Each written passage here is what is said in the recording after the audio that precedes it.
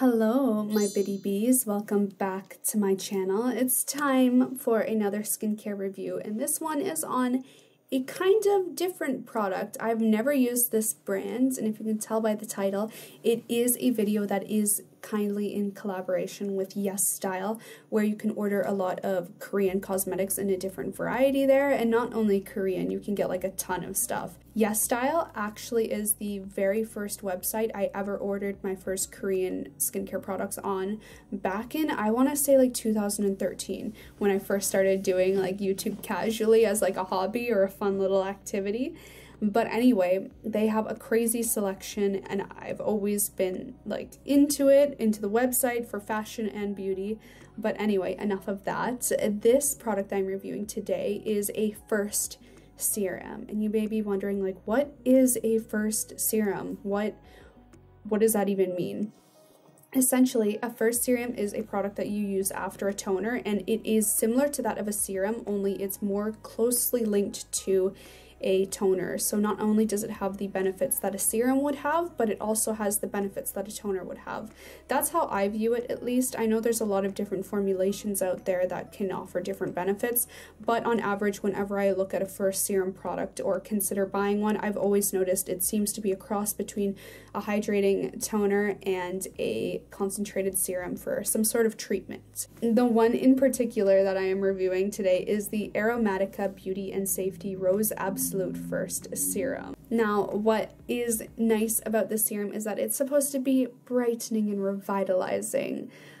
Based on my personal experience using it, I'm just going to get right to the point. I've been using it for about three weeks now, and I haven't seen a huge improvement in regards to brightening. For revitalizing the skin, I think the only thing I've noticed that's different is that my skin is definitely way more hydrated using this product, which is surprising because I thought the serum, not the serums, the toners I was using before, like the Klairs, toner that I've always been using was enough, but when I started incorporating this into my routine, so not only using a hydrating toner but adding this after, I saw a drastic improvement in hydration levels. And you'll see this in this before and after clip that I have here that I used with my skin sampling tester analyzer. You guys keep asking me in the comment section. I keep forgetting to add a link to it in the description box.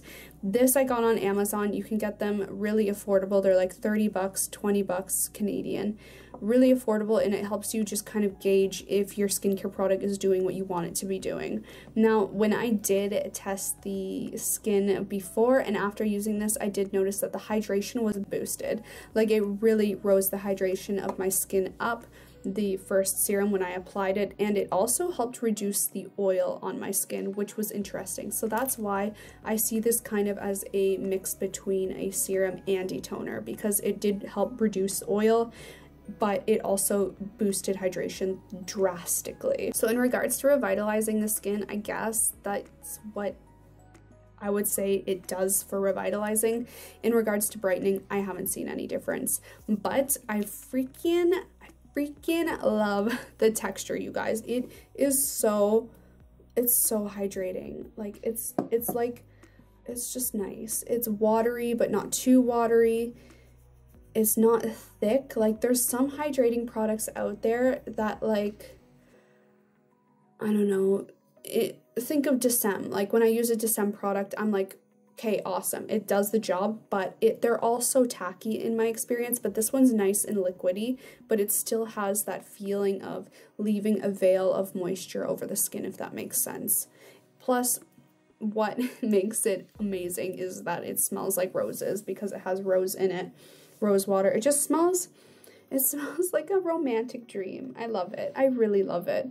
It uses a high amount of Bulgarian rose extract, which I love, and it also claims to have a superberry complex in it, which is a complex of nutrition and antioxidants. So I guess that's where the brightening aspect will come into play, as well as the rose essence, but for me, I've never seen any kind of benefit using rose products on my skin. That's why I don't really share them on my channel because I, for one, like my skin just doesn't do anything with it. I mean, it feels nice and it smells nice, but I've never experienced a brightening experience from a rose product.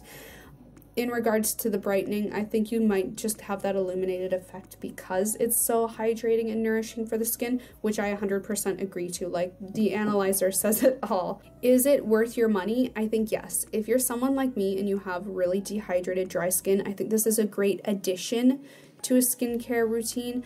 I wouldn't say it's going to revolutionize your routine, but I think if you struggle like me with maintaining moisture in the skin with keeping your skin filled with hydration and water, this is something to add because I'm constantly dehydrated even though I drink like a ton of water.